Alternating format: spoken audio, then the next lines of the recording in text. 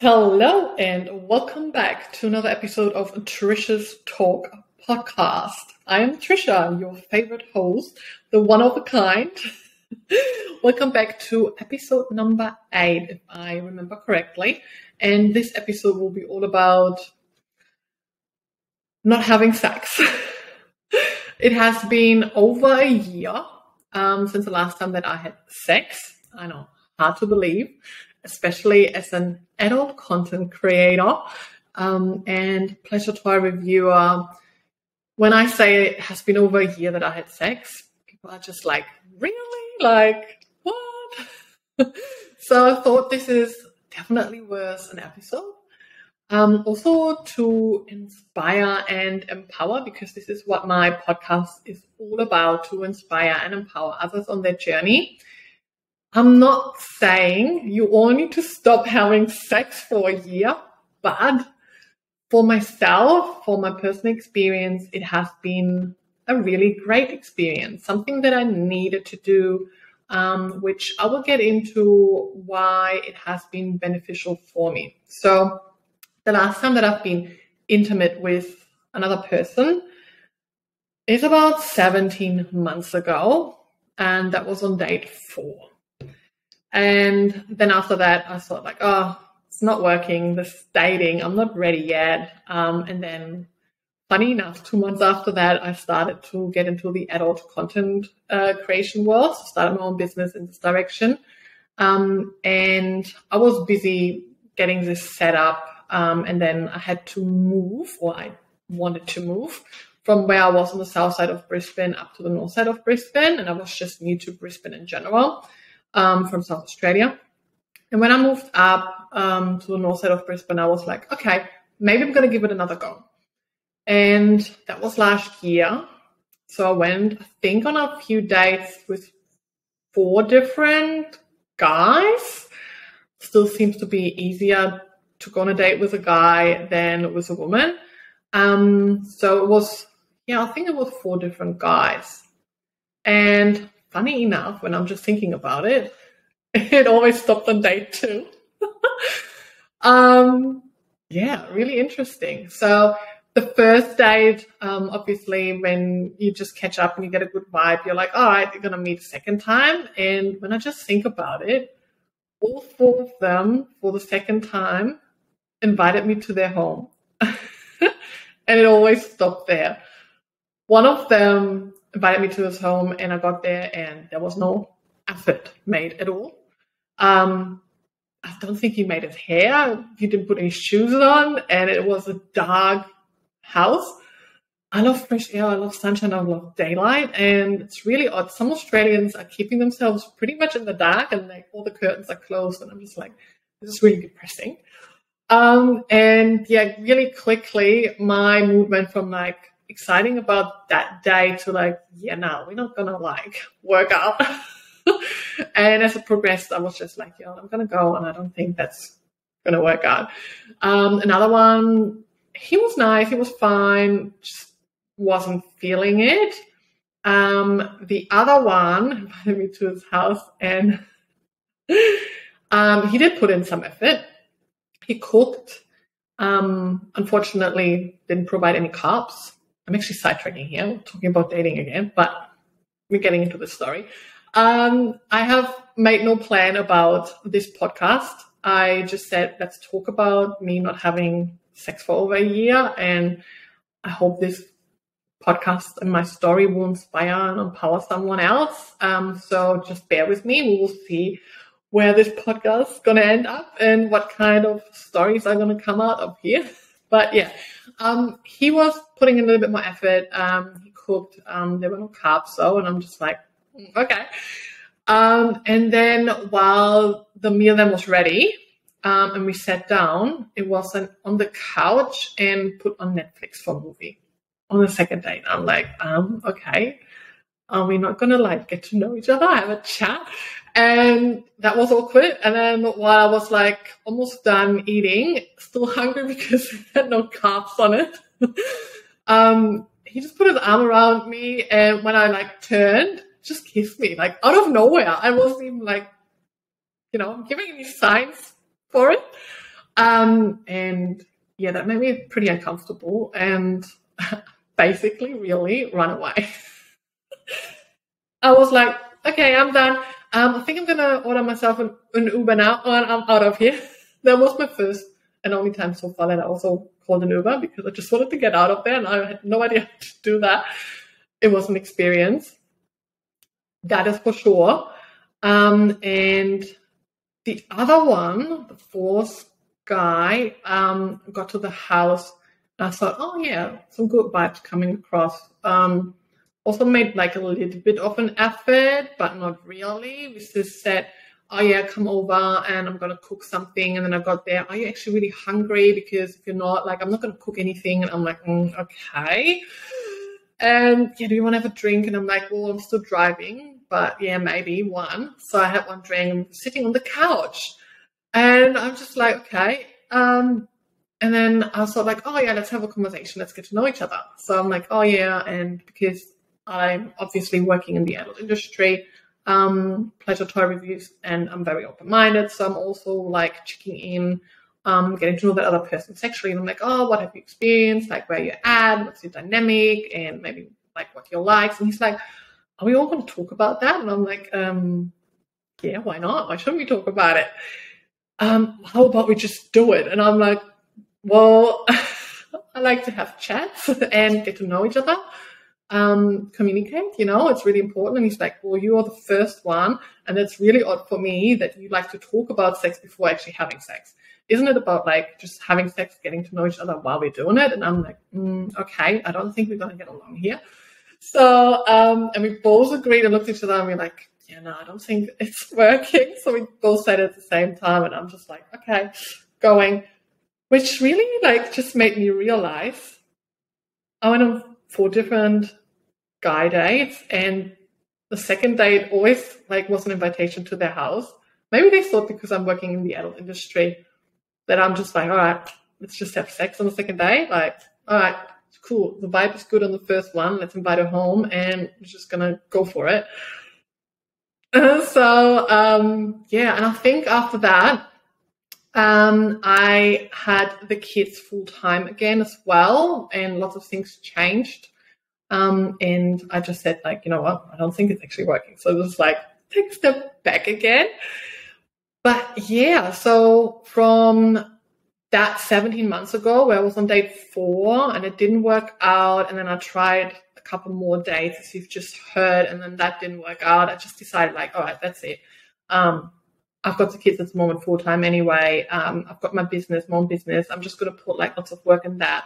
Um, and then that's when I started to really get into the pleasure um, toy reviews as well. So I really put much more time and effort into that and took a step back of having sex or looking for a day to um, be satisfied in this direction. And here's the thing taking a step back sometimes or having a good break can help you to get a bit of a better perspective to things, similar to um, attachments. So that is a whole topic that I could make another episode on is attachments.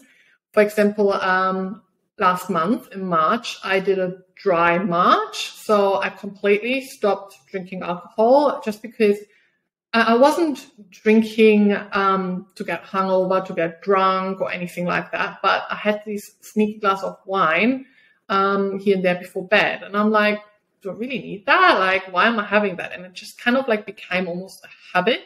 And I realized like, mm, I don't like that habit, so we're just going to stop that. And it was really good to just have that complete break from it and knowing, oh, that was a habit because I'm not even missing it. So the first week was a bit odd because it was a habit. But after that, it was like, yeah, cool, no worries. So moving forward, I know this helped me now to work on the relationship with alcohol, where this here helped me to work on the relationship I have with sex. And looking back to prior to the dates, um, once um, before that, I went on different journeys. So I was um, going on some swinger parties, checked out the kinky uh, scenes, the BDSM scenes, and I was exploring a lot more, but I also had like a friend with benefit before I came up to Brisbane and I realized I can't or I had also some was just like casual sex, no strings attached, and all these things did not work for me. Um, which is all great lessons to learn for myself to know, oh, okay, this works for me, this doesn't work for me, this works for me, this doesn't work for me. Now knowing I really need that connection with someone. I need that connection because that gives me the satisfaction. So I'm not just the physical, I need also that emotional connection. I need that energy exchange and to feel safe, comfortable, or respected. I need to know that person a little bit. And I can't know someone by just saying, oh, hey, hi, let's do it. So then I can't let myself fully go. And also looking back, I really gave the responsibility of my pleasure. I put that into the hands of someone else. I kind of like expected, okay, when we get together, um, I'm gonna get like the the responsibility of the pleasure. I put it into someone else's hand. Where now, taking that step back, not having sex with someone else, but just with myself and with my pleasure toys, dating my pleasure toys, gave me the opportunity to get to know myself in a safe way, safe environment, safe person. I feel safe, I feel respected, and then to try things out, to experiment, to explore. And I have explored ways and done things now where I'm like, oh, hang on a second. So this is what I like, and this is what I'm not like. This is what turns me on. This is the way I like it. And like, whoa, I haven't experienced that before. Whoa, I can do that to myself whoa. And now knowing all of that ultimately will help me moving forward when I go into new relationships that I can actually communicate what are my likes? How do I like to be pleased? Um, and what are my boundaries? Where are my limits? And now being more confident in myself, more confident in my own body, I can communicate that more confidently to my future partners. And knowing that they are an assistant to my own pleasures and that I can be an assistant to their pleasures. So also now knowing that I can be a little bit more open minded and knowing I can provide more pleasures and listen more and knowing, okay, what can I do to help you to receive all these pleasures? And I've also realized um, I was really good in giving, but really bad in receiving pleasure. So that was something that I've realized now for myself as well. Um, being with someone prior who said like, "Oh, you're really hard to get um, to to get to orgasm. You're really hard to make you come," and then being with someone for a few years who's telling you that, then you're kind of like, "Oh, okay, so this is how it's going to work." Like I'm just not going to get an orgasm with you. You're just going to have to do it myself to um, experience that. And I just put that up as like, oh, yeah, I'm just someone who's hard to make to come. And then moving after I separated from that person and had a date with someone else, and like when it came closer to being intimate, I'm like, um, just letting you know, like I'm I'm really difficult to to get to orgasm, so it's gonna take some time. And they're like, oh, mm, okay. And just telling that myself makes it like that which is not. And so just like these little things of now knowing how do I like to receive pleasure, I'm now more able to actually communicate that to someone and be like, this is how I like it. And how about we're going to do it this way? And um, it's not walking in there like, hey, I'm hard to come. so it just changed a lot for me. And I really needed that good long break to also not use sex to feel something or to like fill a gap and just really take that time to get to know myself. The same way when you're being single. Um, I recently was on a speed dating event that I won a ticket to with women, yes, it were 14 women. Um, it was very interesting. And there were some basic questions that we're going to ask each other. One of the question was, what has being single taught you? And when we talked about that, we realized a lot, like a lot has, like being single can teach you so, so much because you are learning to be with yourself. You're learning to enjoy your own company. You're learning more about yourself because you're just present with yourself. You don't have that interruption of someone else being influenced by someone else. So exploring yourself, that's why self pleasure can be so super beneficial for your body image, body confidence, for your self love, because you are spending time with yourself. You are, you know, you are safe with yourself. It's a healthy way of exploring and that will increase your confidence and you learn just so much more about yourself that you can then pass on to others that you are getting involved with. So being single has taught me a lot and now just being over year myself and enjoying the world of pleasure toys has taught me a lot about myself and my body and helped me to connect with my body. Though um, a pleasure toy for that because I do get the comments like, "Oh, you don't need a man then," or "That's why you don't have a man." And um, it's, I am opening up again to date people and not just pleasure toys. And as you've just heard, I was on a speed dating event. I won a ticket to that one here in Brisbane, and it was 14 women, and it was my first speed dating um, experience. And then with 14 women, it was amazing. That energy there was wow, especially because women are just like so, I find them so extremely powerful, empowering, vulnerable, um, soft, gentle, but also that strength that comes across because we've all experienced something, learned something, and we are like, we women like to share that and pass it on. So it's just like, was a room full of amazing energy and everyone beautiful in their way. So it was really great.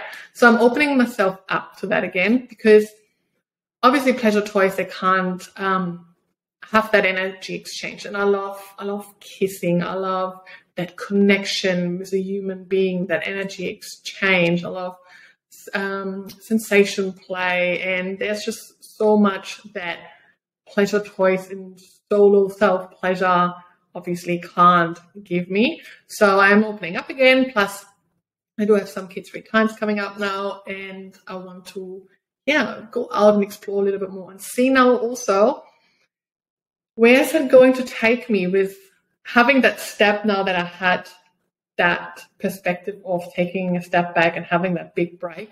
Now moving forward with knowing what I know now about myself and my own body, how's it gonna go? Like very interested in that and being able to communicate more and knowing already what my likes are, my turn ons, and yeah, just like very keen on that. So stay tuned for this. I might share when um, that journey continues.